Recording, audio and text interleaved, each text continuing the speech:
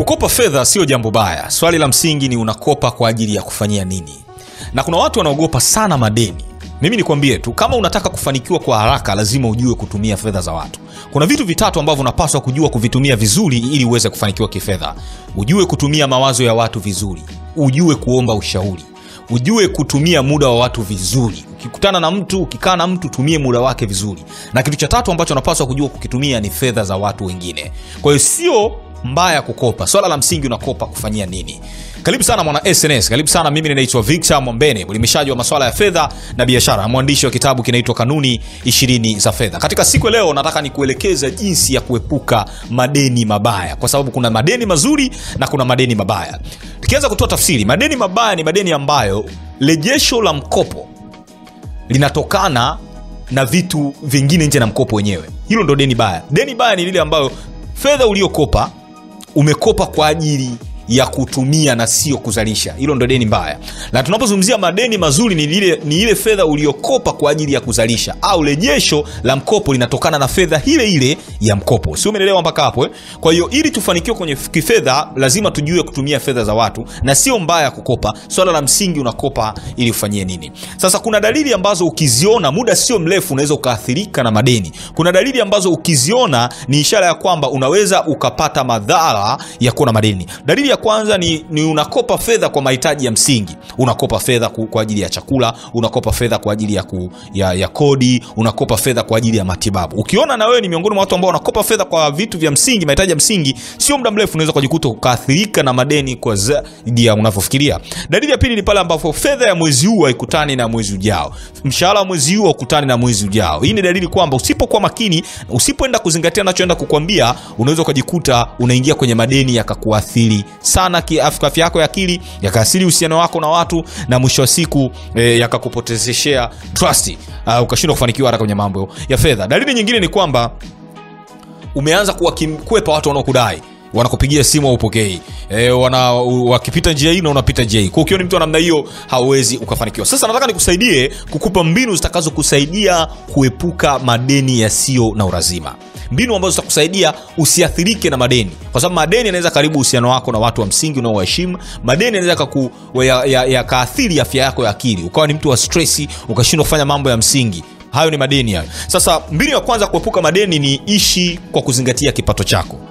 Kuna watu ambao kipato chao kinawaruhusu kutumia simu ya laki tatu, lakini kwa sababu ya kutaka maisha ya kuiga wanatumia simu ya milioni moja ili wao waonekane matajiri. Lengo sio kuonekana tajiri, lengo ni kuwa ni tajiri. Lengo sio kuonekana umefanikiwa, lengo ni kufanikiwa. Na hapa ndipo kuna tofauti kubwa sana katika matumizi kati ya watu wanaofanikiwa na wasiofanikiwa. Watu wasiofanikiwa, watu wa kipato cha chini, ni watu ambao wanatamani sana kuonekana matajiri, wanatamani sana kuonekana wamefanikiwa, wakati watu waliofanikiwa mara nyingi wanaishi maisha yao. So ishi kwenye kipato chako, ishi kwa kuzingatia kipato chako, usitumie fedha ambayo iko juu ya kipato chako. Mbinu ya pili ya kuepuka madeni ni kwamba usikope fedha kuanzisha biashara. E, mwana SS lazima uelewe, hii ni pointi ya msingi sana. Nikwambie hivi, biashara yote utakayoianzisha katika kipindi cha miezi miwili mitatu mpaka mwaka wa kwanza haitakupa faida, na kuna aina ya biashara vipindi hivi vinaenda mpaka miaka mitano. Sasa ukikopa fedha kuanzisha biashara, kuna uwezekano mkubwa sana ukaathirika na deni. Kuna uwezekano mkubwa sana ile fedha usilipe, kwa sababu hutapata faida. Changamoto tena iliyopo ni kwamba mtu anataka anakopa fedha kuanzia biashara, alafu faida anayoipata kwenye ile biashara hiyo hiyo ndo anataka alipie deni, hiyo hiyo faida ndo anataka aitumie kukidhi mahitaji yake ya msingi. Biashara unapoianzisha yoyote ile haikupi faida. Ndio maana tunashauri usikope fedha kuanzisha biashara, kopa fedha kukuza biashara. Kama unataka kuepuka madeni, zingatia hicho ninachokwambia. Mbinu nyingine itakao kusaidia sana wewe kuepuka madeni kama mtu ambaye unataka kufanikiwa kwenye maisha yako ni, ku, ni, ku, ni kuzingatia haya yanayokwambia. Kabla ujaenda kukopa, zingatia mambo yafuatayo. Jambo la kwanza, lazima ujiulize, ni lazima nikope kwa sasa? Kwa sababu kuna wakati sio lazima ukope kwa sasa hivi, unaweza ukakopa kwa baadaye. Jambo la msingi, swali jingine la kujiuliza, riba yake ikoje? Lazima ujue riba ikoje. Kuna watu wanakopa fedha hawajui hata riba ikoje, lengo tu wapate fedha. Je, riba yake ni kubwa kwa kiasi gani? Ni ndogo kiasi gani? na una uwezo kuilipa hiyo riba? Swali lingine la kujiuliza, ukichelewa kulipa nini kinatokea? Je, unauziwa dhamana yako? Je, unapelekwa polisi? Riba inaongezeka na inaongezeka kiasi gani? Lakini jambo jingine la kujiuliza, ukishindwa kulipa nini kinatokea? Lazima ujiulize eh, utauziwa nyumba yako utauziwa kiwanja chako E, nini kinatokea? Ukichelewa kulipa. Riba itakuwa itakuwa kwa kiasi gani? Kwa hiyo ni mambo ya msingi ambayo unapaswa kuyaelewa. Lakini pia kabla hujaenda kuchukua mkopo wote ni muhimu sana ukaweka bajeti ya ule mkopo. Nikisema hivi ninamaanisha nini? Jua jinsi utakavyoitumia ile fedha mpaka kuimaliza. Usio ukaichukua fedha umeipata mkopo wako alafu mwisho wa siku ndo unaenda kupanga budget kwamba hii kiasi fulani nitakitumia kwenye nini kiasi fulani nitakutumia kwenye nini. Mwisho wa siku utatumia hiyo fedha kwa hisia na utashindwa kupiga hatua. Kwa hiyo ni muhimu ukaweka budget ya mkopo. Lakini pia ukichukua mkopo wa watu ukichukua fedha za watu hakikisha una mtu wa kukusimamia katika nidhamu ya fedha.